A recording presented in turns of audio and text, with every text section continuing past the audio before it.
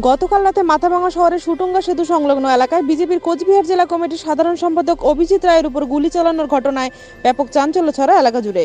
ওই ঘটনায় তীব্র ক্ষোভ প্রকাশ করে আজ বিজেপি নেতারা এই বিক্ষোভে সামিল হয়েছেন। এই কর্মসূচিকে ঘিরে পুলিশি তৎপরতা ছিল চোখে পড়ার মতো। কর্মসূচি শুরু হওয়ার আগেই থানার সামনে উপস্থিত হয়েছিলেন মহকুমা পুলিশ আধিকারিক সুরজিৎ মণ্ডল, থানার আইসি তপন পাল সহ অন্যান্য পুলিশ আধিকারিক। ব্যুরো রিপোর্ট বিকল্প দৃষ্টি সংবাদ মাধ্যম।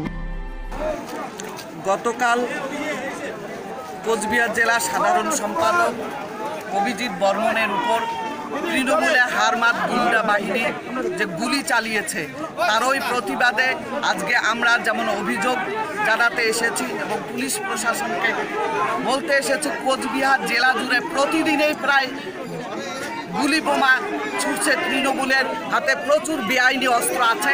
সেই বেআইনি অস্ত্র উদ্ধার করুন, গণতন্ত্র প্রতিষ্ঠিত করুন, সাধারণ মানুষের জীবন বাঁচান। তৃণমূলের পাশ থেকে মানুষ সরে গেছে, তাদের পায়ের তলায় মাটি নেই, তারা পরাজিতের ভয়ে বিধানসভা নির্বাচনে তারা বোমা গুলি দিয়ে আতঙ্ক এবং সন্ত্রাস সৃষ্টি করে বিজেপিকে রুখে দেওয়ার সৃষ্টি চেষ্টা করছে। কিন্তু বিজেপিকে গুলি বোমা, মিথ্যা কেস দিয়ে রোখা যায় না। আজকে আপনারা দেখতে পেয়েছেন, কিন্তু পুলিশ নির্বিকার। পুলিশ এখানেই আছে, এখানেই বম্বিং হচ্ছে। ময়নাতলিতে আমাদের শান্তিপূর্ণ মিছিলের উপর তারা বম্বিং করেছে। পুলিশকে ডাকা হয়েছে, যায়নি।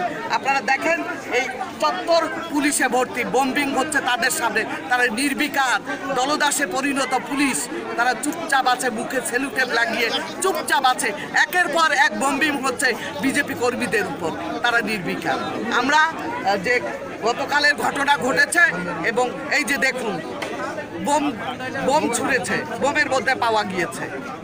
দেখুন, আমরা এই দুষ্কৃতকারী তৃণমূলের হারবাদ গুন্ডাদের অবিলম্বে গ্রেপ্তার করতে হবে, শাস্তি দেওয়ার, শাস্তি দিতে হবে। তার ওই এইখানে অভিযোগ জানাতে এসেছি পুলিশ এর কাছে।